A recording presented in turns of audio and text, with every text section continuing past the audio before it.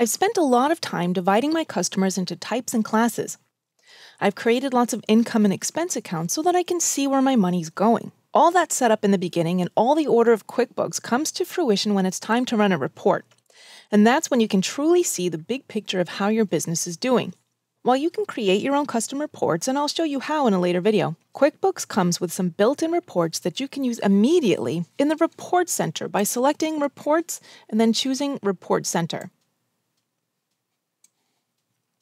Report types are categorized so that you can find the report you need quickly, such as company and financial, customers, sales, jobs, time and mileage, vendors, inventory, banking, even special reports that you can run to help out your accountant and at tax time. The built in reports come in two types standard, as you can see here on the right, which contains a summary of the final figures, and detail, which includes each line item transaction that got you to that end summary figure.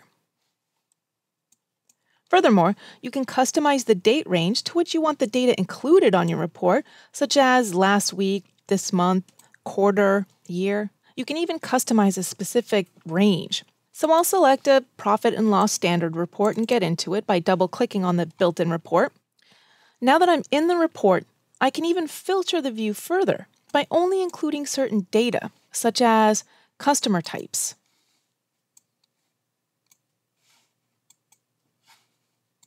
In this case, it didn't show any data, so I'm going to bring it back to all the views. You can even add columns to your view. Now, while you're looking at the report data, when you see a magnifying glass, you can click to view detailed information about the, where the report figures came from. And from here, you can even drill down further to go right to the source transaction, such as an invoice.